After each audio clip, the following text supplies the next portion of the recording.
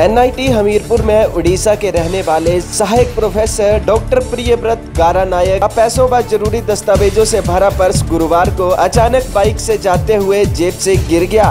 अचानक शिव मंदिर अणु चौक हमीरपुर के पास आकाशवाणी हमीरपुर में कैजुअल उद्घोष की अपनी ड्यूटी पूरी कर लौट रहे पत्रकार संजय शर्मा को बिखरे हुए कागजात व नोट और एटीएम पर्स सहित सड़क पर मिला। उन्होंने पूछताछ के बाद पैसों से भरा पर्स व ज़रूरी कागजात डॉक्टर प्रियव्रत को लौटाकर एक ईमानदारी की मिसाल पेश की है। इस नए काम को करने के बाद संजय शर्मा गौरवान्वित महसूस कर रहे हैं। उनका कहना है कि एक नए काम को अंजाम दिया गया है। अपनी ड्यूटी जो है पूरी करके आ रहा था एज ए कैजुअल अनाउंसर। अब यहाँ पे एक फ़ंक्शन है अपने सर्कट हाउस में। तो जब मैं आ रहा था तो वो बाइक पे सवार थे दोनों लड़के और उनका पर्स गिर गया वहाँ पे और ये नोट बिखर गए, एटीएम भी बिखर गए, फिर उनको उठाया गया, तब तक भी उनको आवाज़ और निकल चुके थे।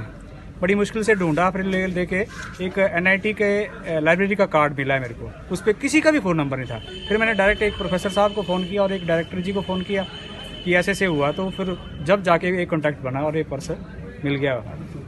तो जो बंदा डॉक्टर प्रियव्रत है, प्रियव्रत जी हैं वो उनके तक पहुँचने वाला थोड़ी देर बाद उनको हो गई बात की भी गिराए आ रहे हैं। वहीं अपनी अमानत को पाकर डॉक्टर प्रियव्रत ने राहत महसूस करते हुए कहा कि आज के जमाने में इस तरह की ईमानदारी की मिसाल कायम करना बहुत बड़ी बात है। डॉक्टर साहब आपका पर्स गुम हुआ था तो अभी आपको भाई साहब ने दिया है संजय जी ने तो कैसा लग रहा है? क्या कहना चाहते हैं इस पूरे मामले में? सर एक्चुअली मेरा ये पर्स के अंदर बहुत कुछ डॉक्यूमेंट था। एटीएम कार्ड, मेरा ड्राइविंग लाइसेंस, मेरा गाड़ी का सब कुछ पेपर भी था। तो उसके साथ पैसा भी था, आसपास दो दो हज़ार आसपास पैसा भी था। तो मैं बस स्टॉप गया था, एक मेरा दोस्त को छोड़ने के लिए, उधर में पैसा निकलते वो गिर गया है।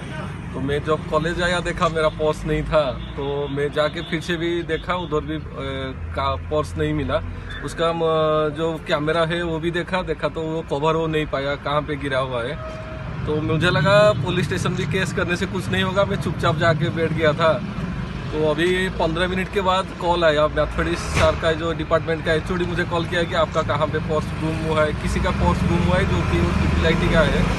तो थोड़ा आप आओ बात करो। तो मुझे भी पता नहीं था, मेरा दोस्त भी वही बोल रहा है कि एक कॉल आया, दो तीन जगह में। इलेक्ट्रॉनिक से एच से भी कॉल आया है। अरे सर आपका पोस्ट गुम हो गया था। मुझे तो कभी पता नहीं था कि ये मिलेगा।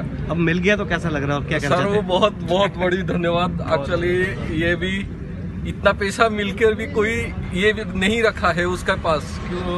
पैसा भी है फिर से भी वो नहीं रखा है। वो बहुत बड़ी आदमी है। इतना डॉक्यूमेंट हिमाचल एक्सप्रेस के लिए हमीरपुर से रजनीश शर्मा की रिपोर्ट।